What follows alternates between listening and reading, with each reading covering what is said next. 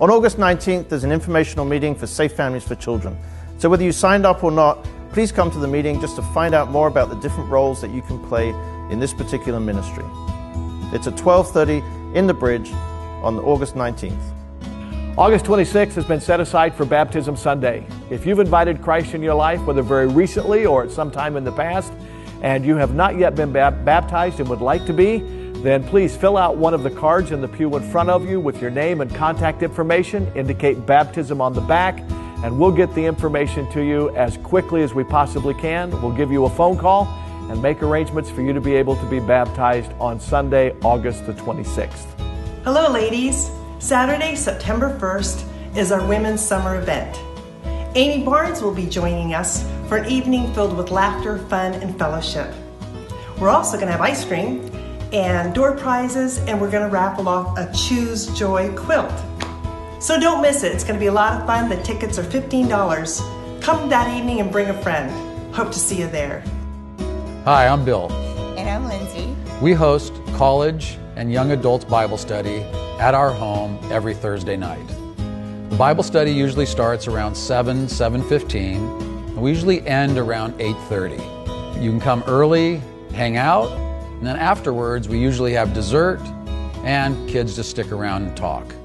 It's a safe place to come and delve into God's word with people of your own age. Love to have you there.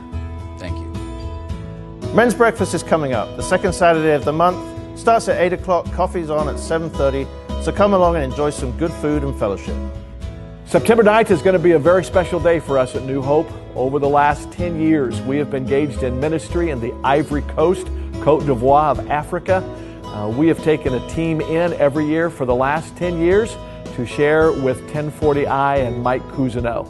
They are going to be with us on September the 9th for all three of our Sunday morning services and our Sunday evening service. If you want to know more about what's going to take place this next February, I hope you'll come and join us that Sunday. We have a Thursday morning men's Bible study. It meets at 6 a.m. and it concludes at 6:45. So if you're retired, you get up early, you can go home and take a nap. If you are part of the working group, uh, we get you out of here in time to, to get to the job but we're going to be kicking off a brand new study the Thursday after Labor Day. So if you are looking for a place to connect, if you're looking to get better acquainted with other men, if you're looking to do a deeper Bible study, we would love to have you check out Thursday morning, early morning Bible study, 6 to 6:45 every single Thursday. Family nights are starting again. Wednesday, September the 12th, there'll be adult and kids Bible studies. The kids this session are going to spend seven weeks learning about the life of Jacob through various slime experiences. We're going to make lots of slime. That's for our preschool through fourth grade students. And of course, our fifth and sixth graders are still meeting every week as well. If you're a parent and you're dropping off a kid for the kids' studies, or you're just an adult that wants to go to a Wednesday night adult Bible study, then I'll be doing Forgotten God by Francis Chan. It's a chance to talk about the Holy Spirit and find out how we can re engage with the Holy Spirit in our lives and that goes from 7 to 8, the same time as the kids' sessions. We also have dinner at 6.15 for anyone that wants to come that's going to these Bible studies. To get more information on these and other upcoming events, visit newhopechurch.net. All right, we're going to take uh, just a brief moment and open with a word of prayer. Uh, Larry Calvert, who was sitting right up here, had to uh, step out. Not exactly sure what's going on. He didn't want to talk much at the moment. He's having some, uh, some chest pains, I think. Uh, seemed to be the indication that we were getting. And so his wife's going to call us back and let us know in a little while what's going on. But I just want to take a brief moment and pray for Larry, all right?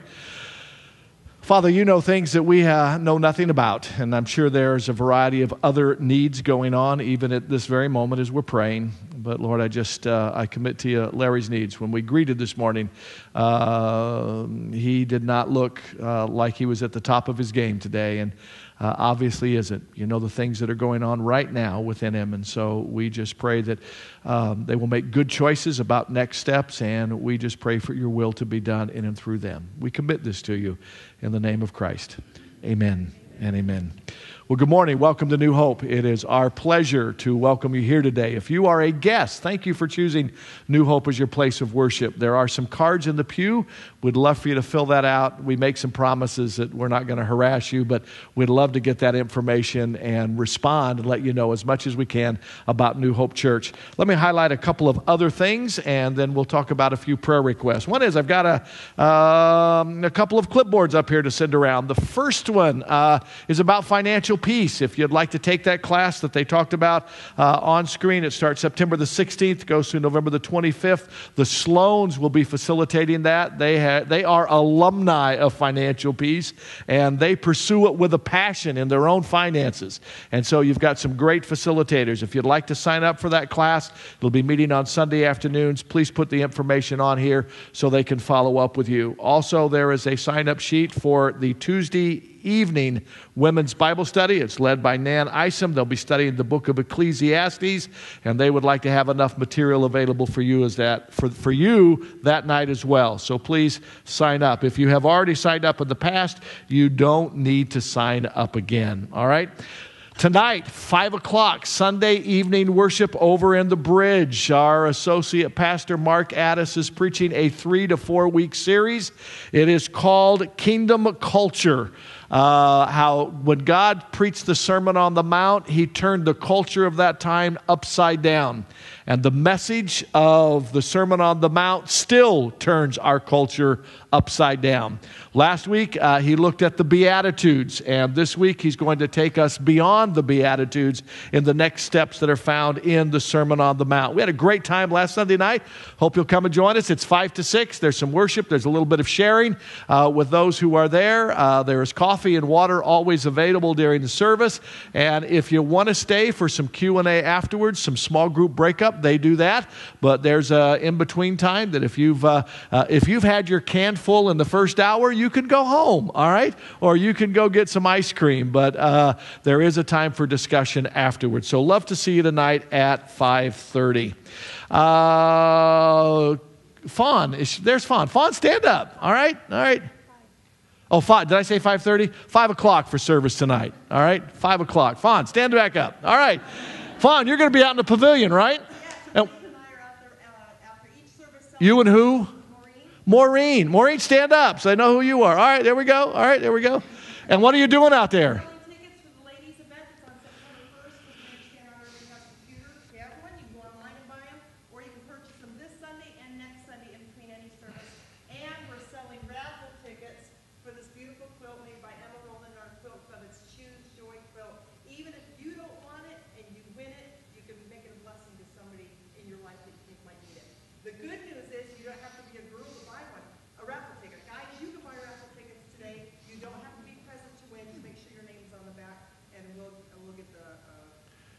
And how much are the raffle tickets? Raffle tickets are a dollar each or my hike for 20. Now, I counted them. You get 36 tickets for 20 bucks a deal. And you can go along every day. So I suggest doing that one. But if you want to buy one, two, five, ten, you can do that too. Okay, very good. Uh, I was asked a very important question in the last service, and I made up an answer. What's the size of that quilt? Okay. I said about four by six. Actually, it was a lady who asked me.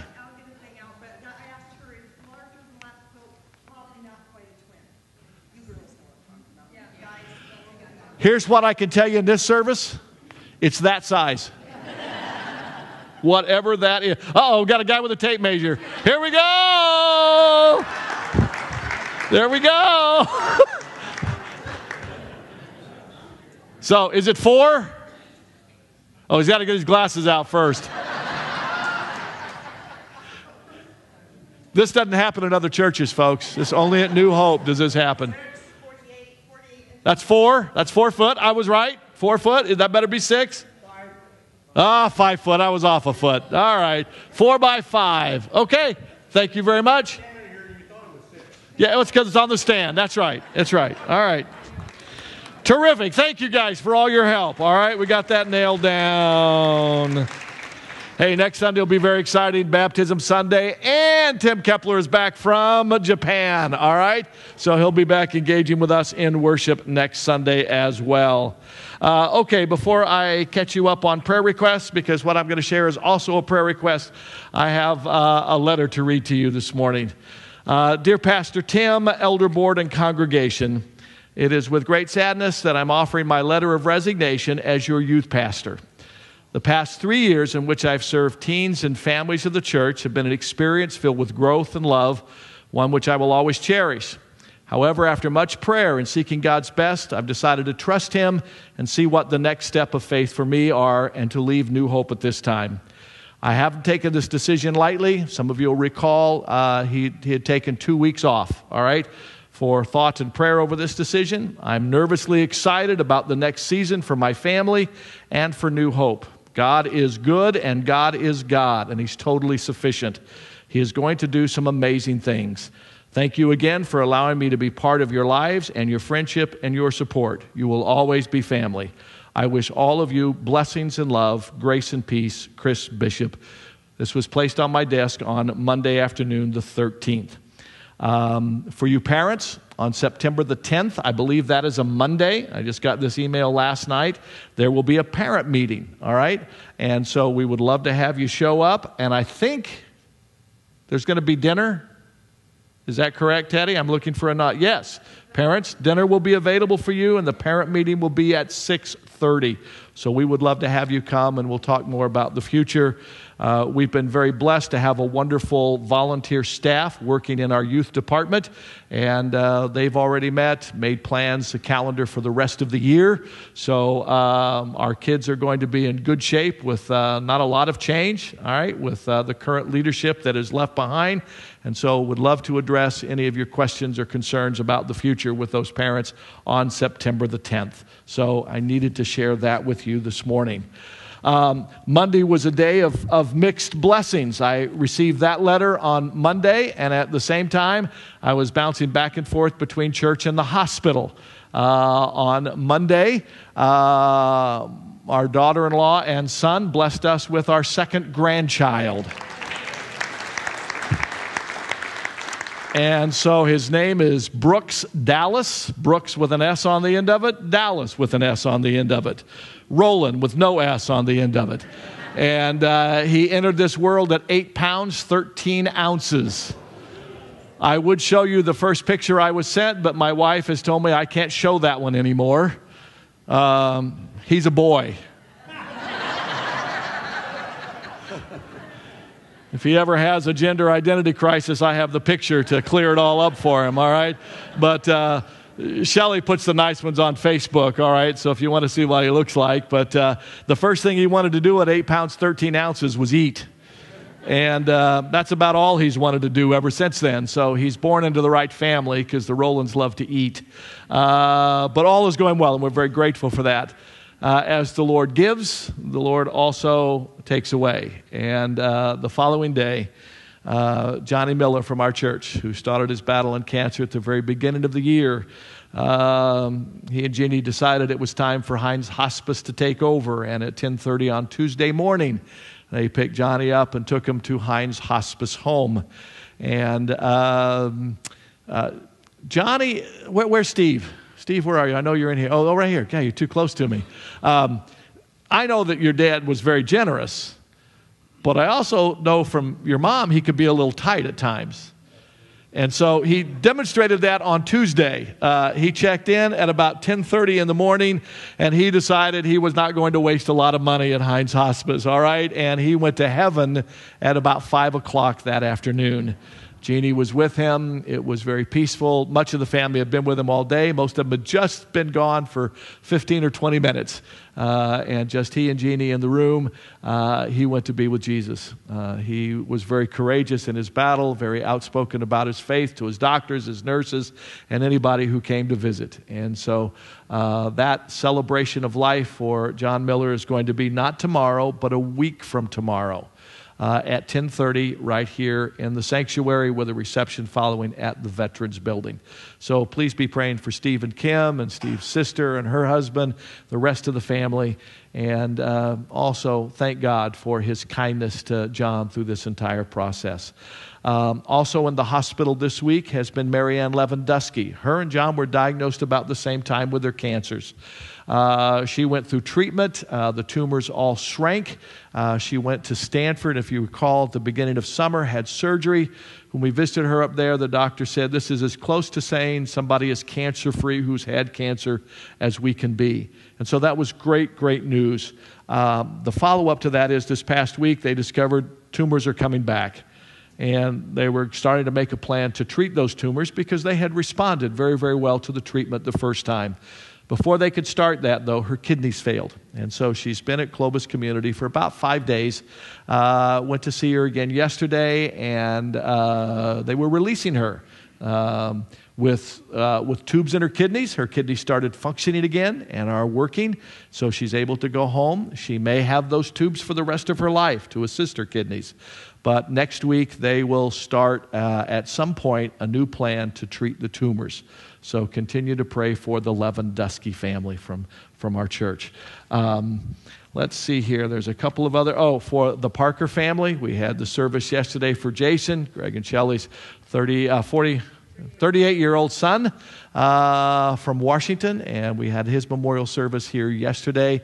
Uh, it was a wonderful celebration of his life and a great time for a lot of extended family and friends who are like family to be together, and uh, it was a wonderful day. The great news is Jason had written out his own testimony of his faith in Jesus Christ.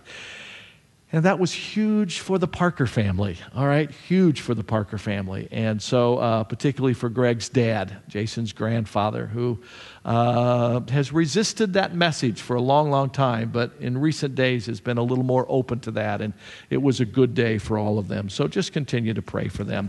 Let me see if I had any other additional notes I needed. Frank Hicks, uh, continue to pray for him. Uh, all kinds of challenges going there, but recently uh, things seem to be a bit better the last day or two. And so just continue to remember him. The Sloans from our church, their daughter had breast cancer surgery this week.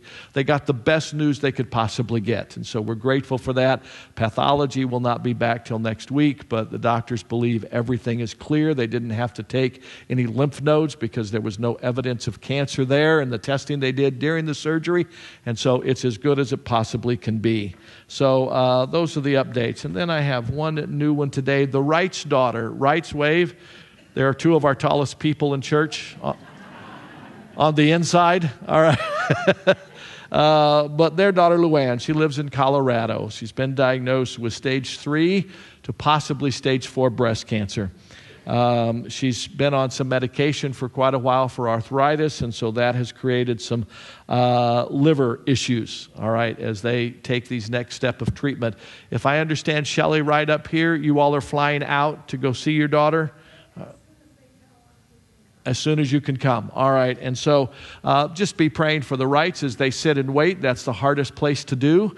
And uh, just be remembering to pray for them. And their, their daughter's name is Luann. And um, I know they would love and appreciate your prayers. I'm going to ask our ushers to come forward and wait on us as we have our tithes and offerings today. And would you join with me as we pray?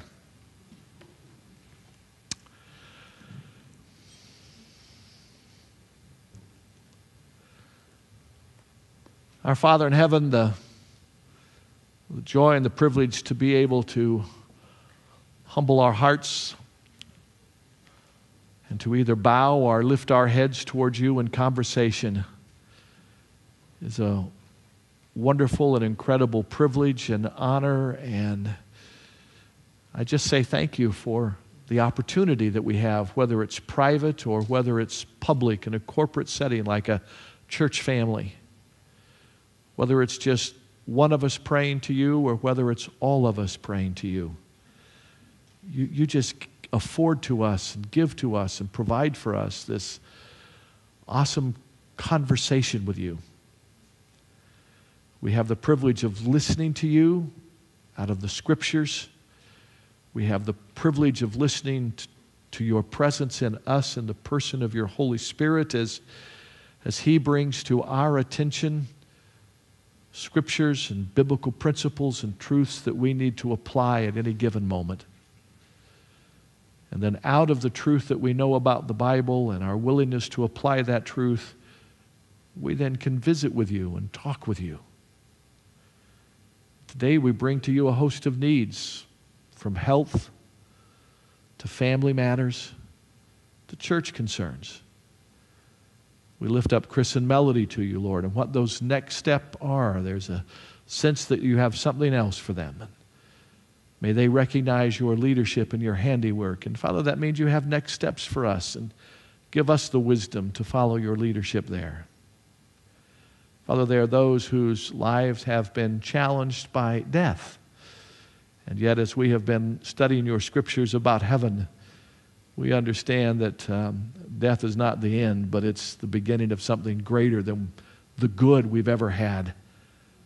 And so, Lord, just give us clarity and understanding in all these matters and other things that happen in our world. Father, I pray that personally we walk in great fellowship with you and then collectively as a church. Not because the size of the church is important but Father, the growing of our faith is important. And that faith is grown in not only our private study of your word, but also in our public understanding and application of the word as, as individual people joined together as the body of Christ called the church. The world can see in and through our imperfections your perfecting of us. And through our imperfections, they will see a perfect God who loves and cares about his family and who cares about expanding his family to include them as well. So enable us, Father, in this process of everyday life to remember we are your children. And just as our own personal family has found great delight in seeing it grow this week, you find great delight every day in seeing your family grow. And your heart is so big that when others are added to the family, you do not have less love for us. You just give us greater love for those you've added to your family. Thank you for what you do and how you do it so well. For the privilege of giving and sharing, Father, we say thanks. In Christ's name we pray. Amen. Amen. This past uh, Friday evening, our uh, Hope Group directors, Teddy and Corey, they helped sponsor a uh, night at the movies here at the church. And I'm going to say, I don't know if you guys got to count 120, 130 folks. We're here uh, Friday night, sitting right out here, watching the big screen, uh, the movie I Can Only Imagine and it was awesome. It was terrific. I've, second time I've seen it, and uh, it was really, really good. Uh, we also had concessions. They had popcorn and hot dogs and milk duds, just like you're supposed to have at the movie. And uh, we also had a little bonus. We had a, one of our uh, one of our high school kids who graduated and uh, this summer worked at Hume. Uh, Stone is here. All right, he's another one of our high school grads who worked at uh, Hume. We had five of our graduating seniors who got hired. Uh, by Hume Lake to work, and they worked in a variety of areas from you know uh, kitchen to kitchen to kitchen I think they all worked in the kitchen in some form of capacity. Uh, but anyway, I did a great job. Uh, and while she was up there, her, her intent was to come back, uh, start college this fall. And uh, some folks suggested to her that she check out the Joshua program, uh, which is an extended Bible study program for a year. And uh, she resisted it kind of kept being nudged, she felt like, by the Lord to consider it. And finally, some friends just said, fill out the application. They only accept 42 people anyway, and there's 300 people applying. Uh, leave it in God's hands. Well, she did that, and uh, she was chosen. Um, and so, um, and the all right part of that is that's really cool. The not so all right part of it is it's about 15 grand. Uh, and so, anyway, the um, uh, the concessions from Friday evening uh, all went to help her with some of those uh, unexpected, God directed expenses for her to go to one year of Bible training and uh, in depth study. She'll get to work at Hume again next year, pay part of her expenses for that off. And so I think uh, they told me we raised a little over $500, all right, in concessions last Friday evening. And if anybody else is so inclined to want to assist in that, you could just put a little something in the offering, which we've already taken, but you can hand it to the ushers. And uh, if you make it to New Hope, but if you write on the envelope, uh, write Ivy okay? We'll know what that means. You can write poison ivy if you would like, all right? If you're a Batman fan, that will make sense to you. If you're not, but she's the non poisonous variety, all right? Uh, but a wonderful heart and a passion for the Lord. So, uh, Stone will be leaving in September uh, to become a doctor okay, up at UC Davis. So we're excited. Uh, we've already sent one back east. Uh, one's going to build ships, all right? So you just have no idea what God's going to do with these kids who graduate out of our high school program. And uh, yeah, it's pretty exciting stuff. Uh, so, small groups, hope groups. If you would like to join a hope group, all right, there are some cards in the pew in front of you that say hope groups, I believe, on them. They're the smaller cards. If you don't find one by where you are, use one of the big cards, put your name on it. If you've never, that, that, Corey's holding one up there, it looks like that, all right, all right and uh, fill one out uh, in September. Uh, we're going to be launching uh, with two couples, the Drakes uh, and the Rolens are going to be launching. Um, we hope maybe a couple of small groups. It'll start as one big one, possibly. Uh, we'll be meeting probably in our homes. on Wednesday evening, if it gets too big, we might have to find another place to meet. But what we'll do is it'll be about a seven or eight week study. And if there's 10, 12, 25, anyway, at the end of that study, we will launch one, two, or three small groups. All right? Does that make sense? So if you've not been plugged into a small group uh, or yours has withered on the vine and is not meeting anymore, uh, take one of those small group cards and say, hey, interested in the small group starting in September. We'll uh, be getting information and sign-ups out about the exact time, place, and location uh, in the next week or two. All right? But that will launch sometime in September. Uh, I'm going to invite you to turn to 1 Corinthians chapter 15 today. I have great news for you if you've been here the last three weeks. The great news is we're out of hell. In fact, this week I said to hell with hell, all right? Um, we are not talking about hell hardly anymore, all right? The series is about heaven.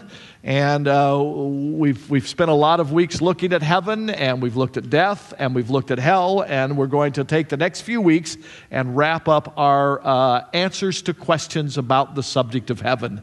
And I understand that in all of these various sermons, we've touched on various questions. Some of them we've been very specific about. Uh, others, when you answer one question, it connects to another. So I know there's a little bit of repetition that takes place in here.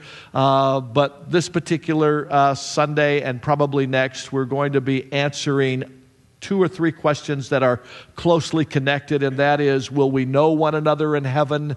What is the what are, what are we going to look like in heaven what's our bodies going to be like uh, those are questions that came in at the very beginning of this study uh, that you said you would like answers to and so that's what we're going to explore today um, I found out something that I find out almost on a weekly basis, and that is I'm not going to finish the sermon today. It will follow through. 8 o'clock prove that. So we'll be part two next week.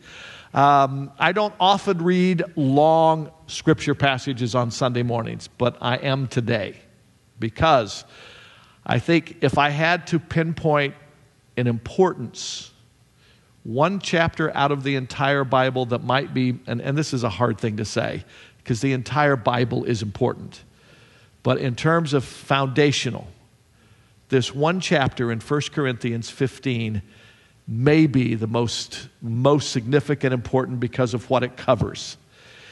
And a little background here the Corinthian church was a messed up church. Okay? I, I just got to say it kind of like it is. Uh, you guys know what the epistles are in the New Testament? I, some, that's not a rhetorical question. Do you know what the epistles are? Yeah, they're called the letters.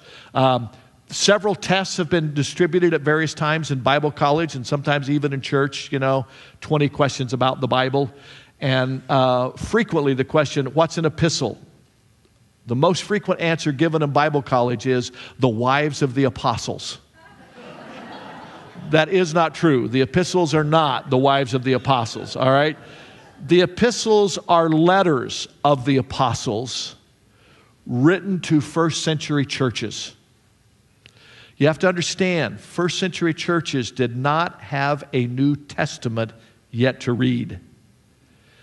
They were still reading the Old Testament and they were then following the teachings of the apostles. Okay? Because the resurrection of Jesus had just happened. So all of this is brand new. God was still pinning out through his apostles the rest of the Bible, Matthew to Revelation. And so, particularly after the book of Acts, which is the founding of the first century church, moving from the temple of, of Judaism to the living organism called the church that was sprouting up in homes all over the place. And so, after the resurrection of Christ, as, as the, the, the apostles, the disciples fulfilled the Great Commission of going into all the world and preach the gospel, the gospel had not yet been completed. Ooh, I just sounded better. Ooh, thanks, guys. And, um, and so the disciples were going on missionary trips and journeys and they were planting churches and wherever God was sending them. And there was a church in Corinth, and Corinth was a very metropolitan place. We might call it like the Boston of the U.S., all right? Very metropolitan. And uh, cultures of all kinds were there. And Paul had built this church from the ground up, it was a church plant. And then God moved him on to plant other churches. But as pastors are prone to do when they plant a church and move on and do it again, they, they still love that baby. They care about its health. And word had gotten to Paul that the church in Corinth, which had exploded in size, was now beginning to be influenced by the multiple cultures of the community. And they were beginning to add things to the foundational faith that Paul had taught them and they were going off in gross error. They were making decisions and creating doctrines and church practices that weren't built on the truth of who Jesus was, but was built upon their relationships and their experiences. It's kind of like the story I told yesterday at Jason's service. There was a, there was a keen who was with a group of hunters out in the countryside, and they were hunting. And as they were walking through the woods, the keen noticed that there were these trees that, that, that had an arrow embedded right in the middle of a bullseye in the trunk of the trees. And he came across eight or ten of these, and he was amazed at the marksmanship of, of, of that hunter with his bow and arrow because every single one of them was right in the heart of the bullseye. And he said, I got to find that guy. He's got to become part of my hunting team. And so the hunting team now stopped looking for game and started looking for a hunter. In about an hour, they came around a corner and over a hill and looked down, and here was a, a, a, young lad walking away from a tree, arrow buried right in the middle of that tree trunk, right in the middle of the bullseye. And, and the king ran up to him and said, Young man, come here, come here. I want to know did you shoot those arrows or did you just walk up and plant the arrow in the tree? The young man said, No, sir, Mr. Keene. I was a hundred paces from every tree when I let my arrow go. And the king said, Man, I want you on my team. Will you become part of my hunting crew? He said, I would be honored. And he said, I am just so amazed that at a hundred paces, every single time you bury it right in the middle of the bullseye. And the young man and said, Oh, oh, Keen, that's not exactly the way it went. He said, A hundred paces I stood away. I aimed right for the middle of the trunk. I let the arrow go. That arrow landed in the trunk of the tree. And he said, Then I walk up and paint the bullseye around the tree. And as funny as that is about target practice, the sad thing is, is that's the way many people in our culture today create their theology. It's the way they create the purpose of their life. It's based upon their feelings and their circumstances and their culture, and they create a spiritual picture, a spiritual bullseye, and every time they hit it, because they can move the bullseye. But Paul is going to let us know, like he did the Corinthian church, that is not the way that you build your life. So let's read this chapter, and it's a long one. And as you know, I'll pause and make comments occasionally through our journey. Now, brothers, I want to remind you of the gospel that I preached to you. See, he had already preached it and he needed to remind them. That means it's okay for me to repeat sermons at church. this is what you received and on which you have taken your stand. By this gospel you are saved, not by another one, by this gospel. If you hold firmly to the word I preach to you, otherwise you have believed in vain. For what I received, I passed on to you as of first importance. I don't know about you guys, but first importance sounds more important than all the other importance. Now, don't misunderstand me. All of the Bible is important, but there are some essentials that we cannot waver on. And that is what Paul is telling the Corinthian church because they had been wavering. In fact, it's to these folks he says, You can't waver. You can't be tossed about by every wind of doctrine that comes. Here is what is of first importance that Christ died for our sins according to the what? Scriptures. That he was buried, that he was raised on the third day according to the Scriptures. Now, I just told you a few minutes ago the New Testament hadn't been written yet. So, what's the Scriptures Paul talks about? This is the Old Testament. He said, this does not change. What Jesus did in his life was what was prophesied and predicted in the Old Testament. He did not live his life and then paint a bullseye around it and make it look like he was a perfect shot. These things were done well in advance. The bullseye had already been painted, and in the life and activities of Jesus Christ, he fulfilled them dead on. And this is what we build our life on the life, the death, and the resurrection of Jesus Christ. Verse 4 He was buried and raised on the third day according to the scriptures, and then he appeared to Peter, and then to the 12, and after that to more than 500 of the brothers at the same time, most of whom are still living. What, what Paul is telling them is hey, guys, not only did he show it to the apostles, but to 500 other people walking the streets of Jerusalem, Jesus showed himself, and they are still alive, most of them. A few have died. But you can go check this out. You can talk to eyewitnesses of the risen Jesus. Verse 7 And then he appeared to James, and then to all the apostles, and last of all, he appeared to me as to one abnormally born. For I am the least abnormally born. That simply means I wasn't around Jesus while he was living. I did not see him that first day or two after his resurrection. At a later time, Jesus showed himself to me and he birthed me as an apostle. Verse 9 I am the least of the apostles. I do not even deserve to be called an apostle. Why, Paul? Because I persecuted the church of God. Before I became a believer in Jesus, out of my religious background, I would arrest and capture Christians, I would torment them, and I would kill them. And yet, by what? By the grace of God, I am what I am, and His grace to me was not without effect. In other words, the gift that Jesus offered me to change my life, I did not throw it away. It's an important question for you to ask.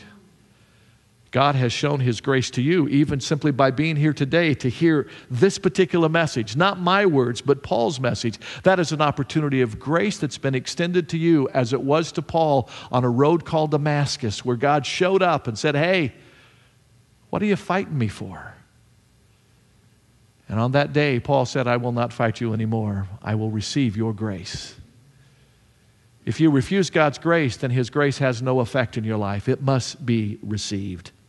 No, I work harder than all of them, yet not I, but the grace of God that was with me.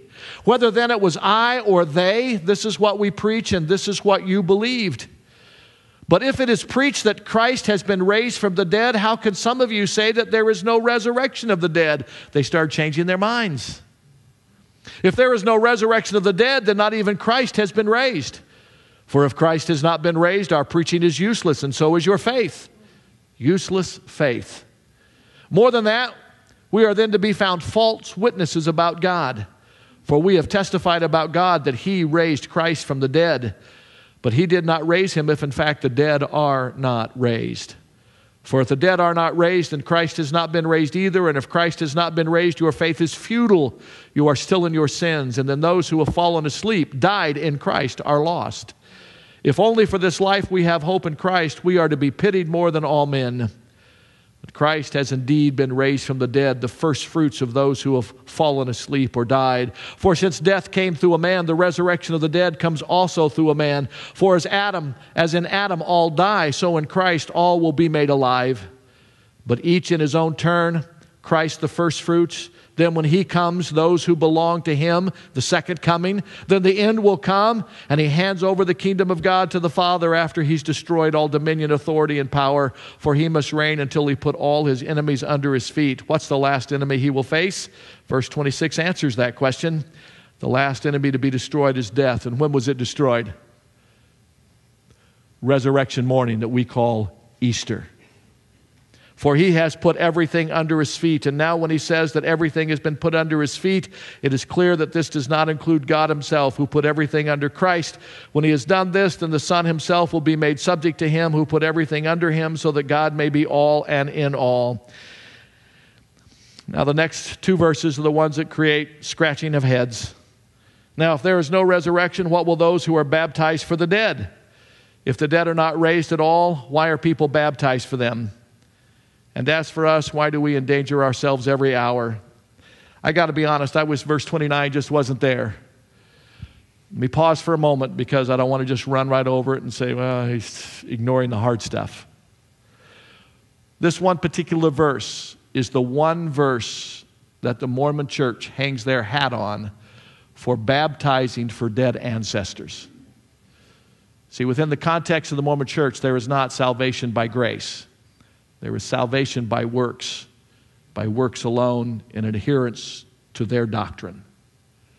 And this one verse is why they get buried for all their, that's why they trace, that's where Ancestry.com really came from. It's so they can keep tracing their lineage, so they can be baptized more and more times for other members of their family who were not baptized in the doctrine of the Mormon church. And the more that they get done, the potentially higher level of heaven they will get and the greater rewards they will enjoy. And it hinges from that one verse right there, baptized for the dead. Understand, Paul is not endorsing that. You do not find anywhere else in Scripture any reference to being baptized for the dead. We also must remember baptism is not salvation. We will have baptism next Sunday here. The 17 people who are currently going to be baptized are not being baptized to be saved.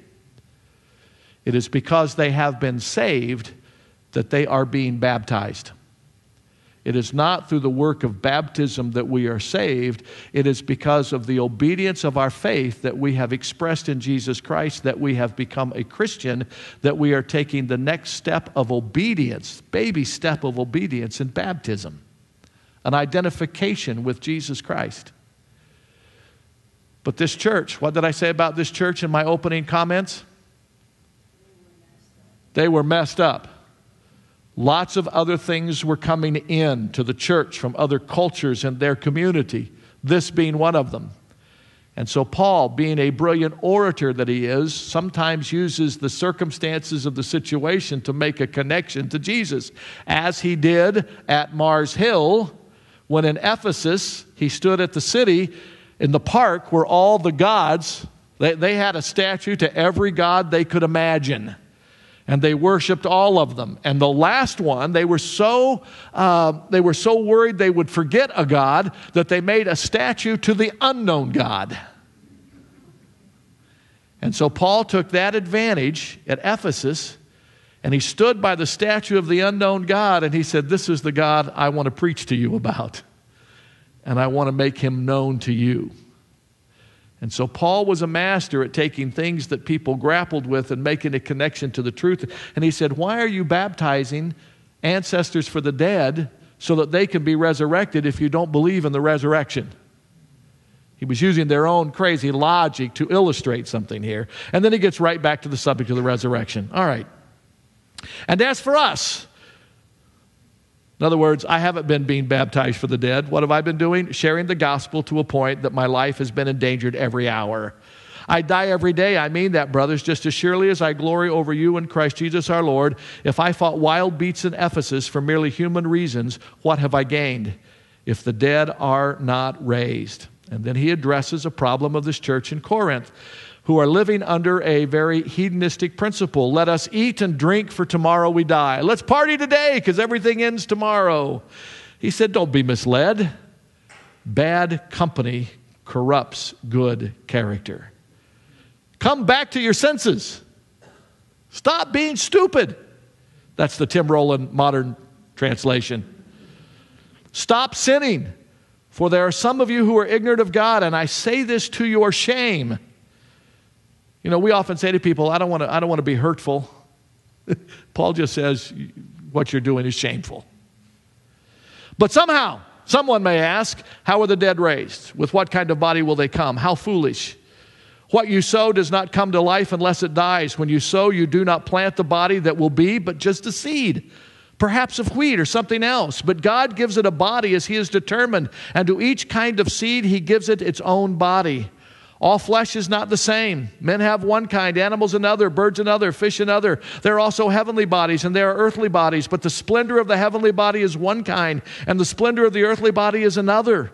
And the sun has one kind of splendor, and the moon another, and the stars another, and the stars differ from star to star in their splendor.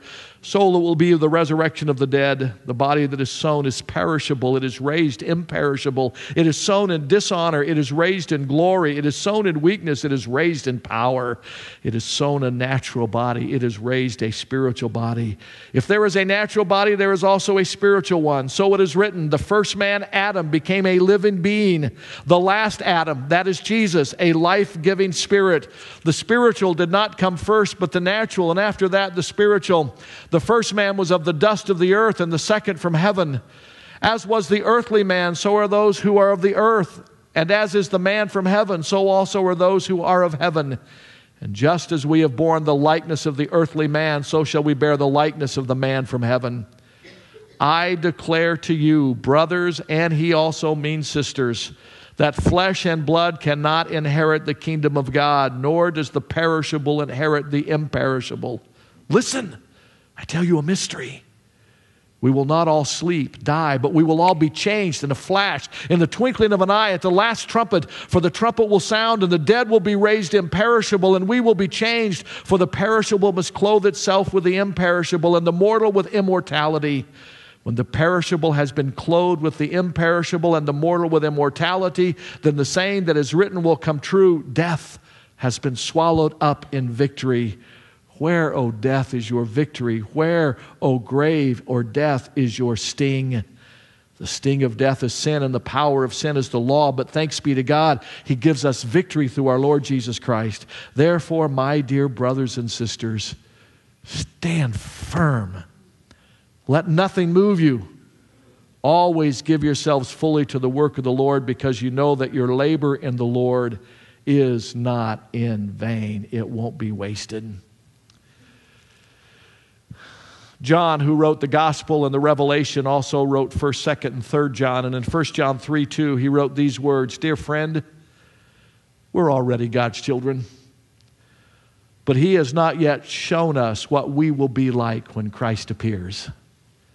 But we do know we will be like him, for we will see him as he really is.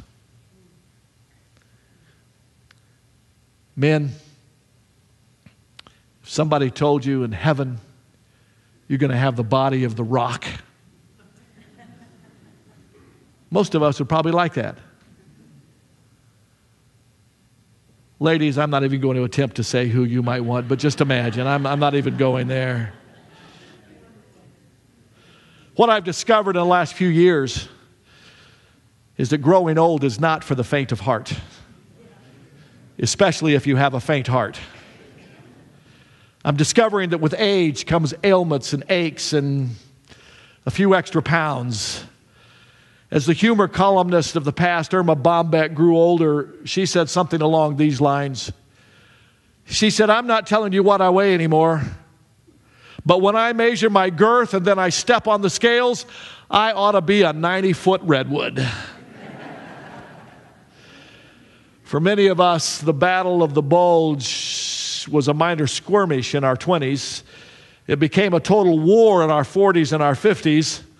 And if it wasn't the bulge, it was something else we fought, like wrinkles or sags and bags. Those of you on the other side of 55, have you ever gotten out of the shower and just stared at yourself in a full length mirror lately? I don't even turn the light on in the bathroom until I'm dressed. For those of us at a certain age, it's a rather unnerving sight. Uh, if you haven't done it in a while, just try it. It'll jolt you awake like an electric shock.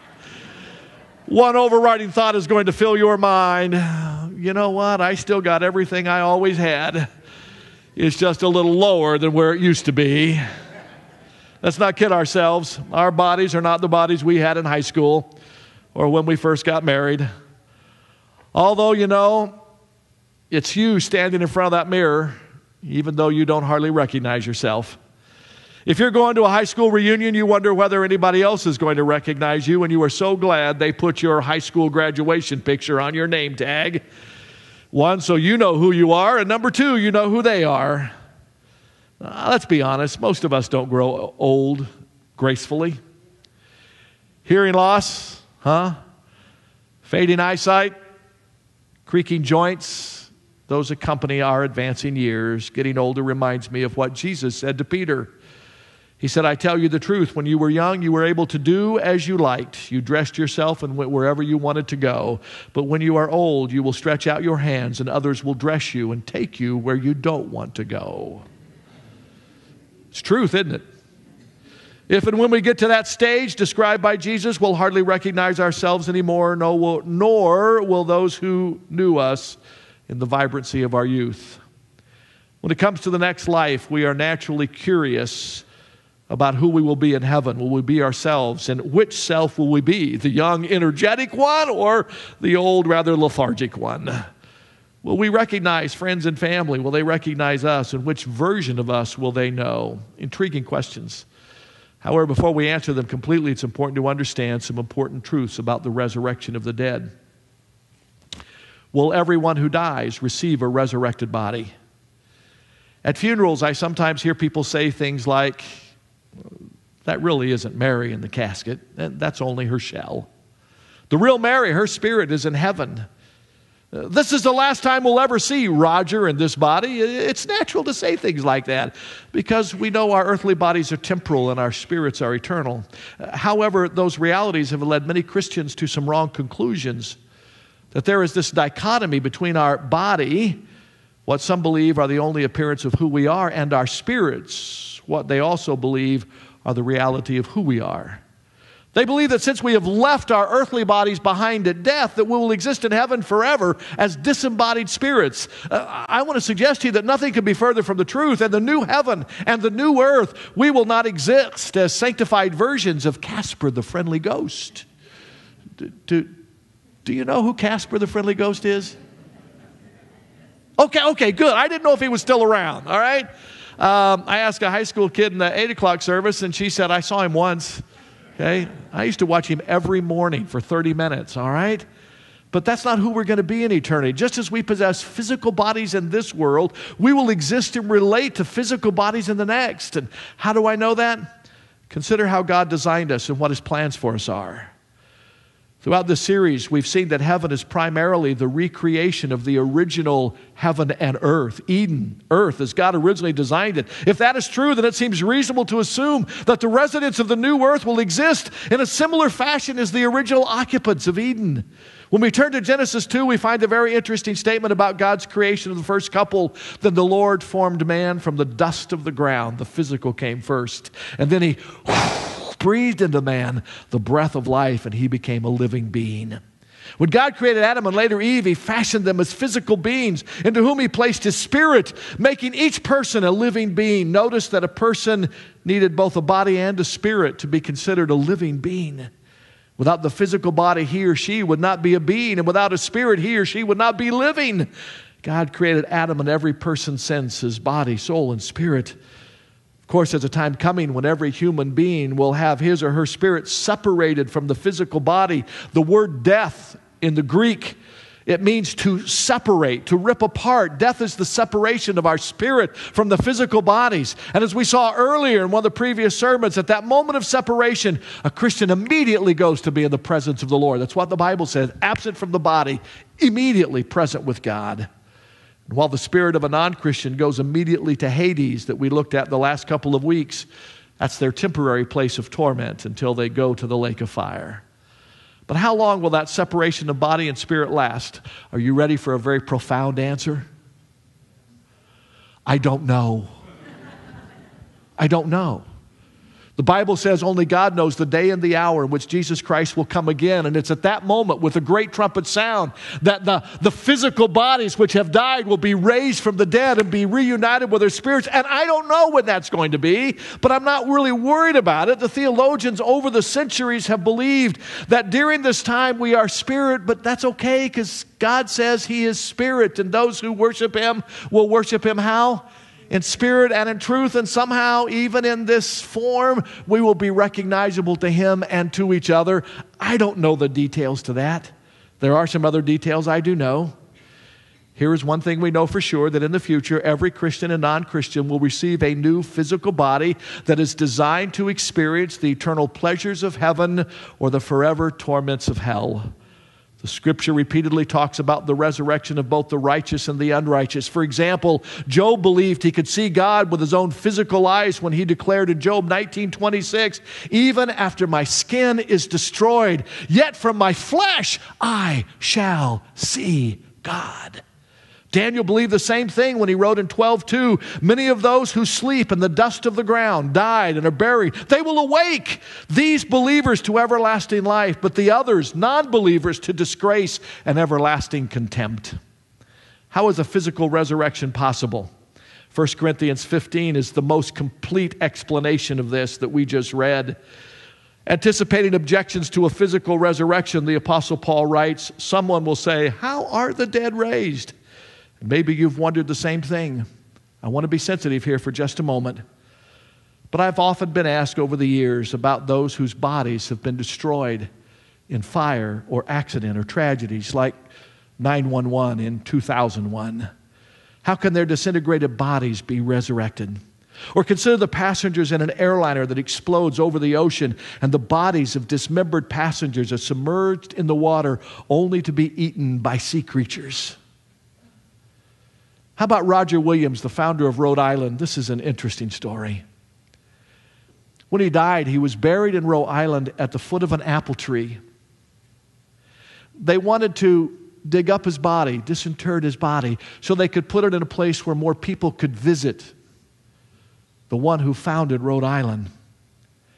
And yet, when they dug him up, remember, in those days, they didn't have metal caskets like we have now. These were probably softwood caskets.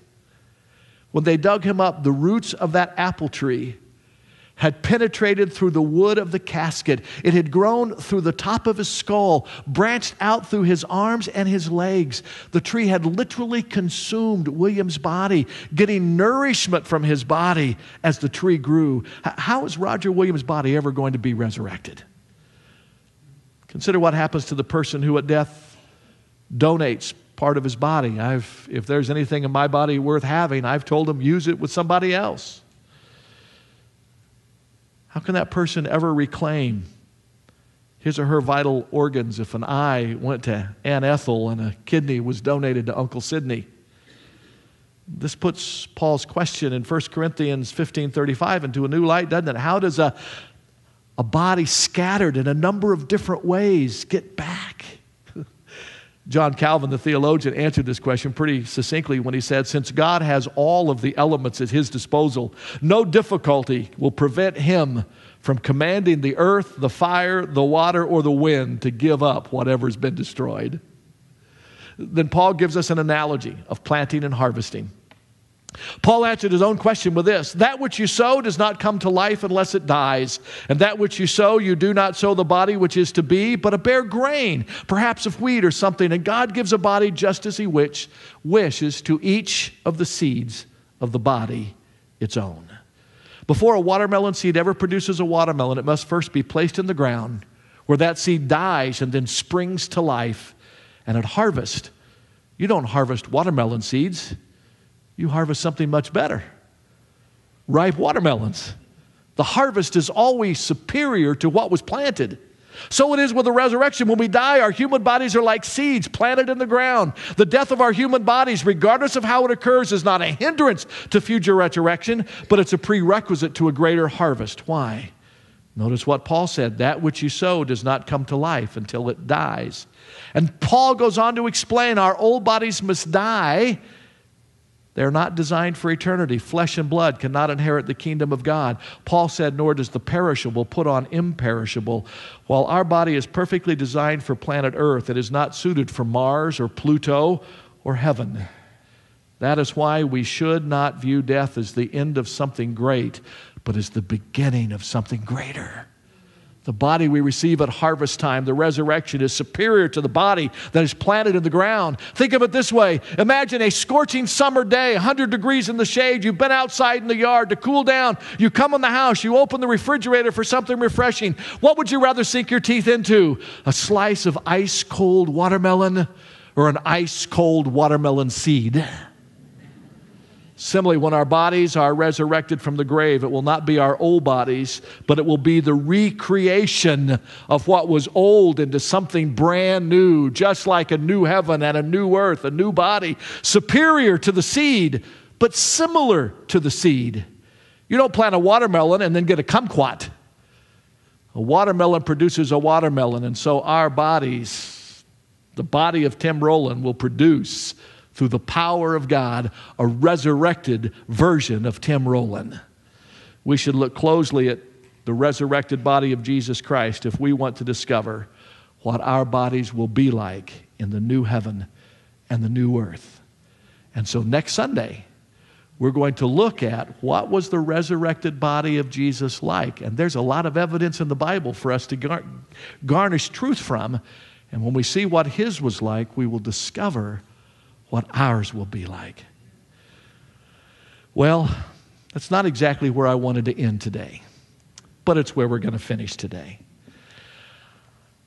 These kind of sermons are always frustrating for me because I always love to end at a moment where you can make a choice, where you can make a decision. We're not quite there yet. So, what this means is every one of you have to come back next week for part two. And you have to tell those who weren't here today, go listen to it online. Some of you may be guests for the very first time and you said, What kind of church is this?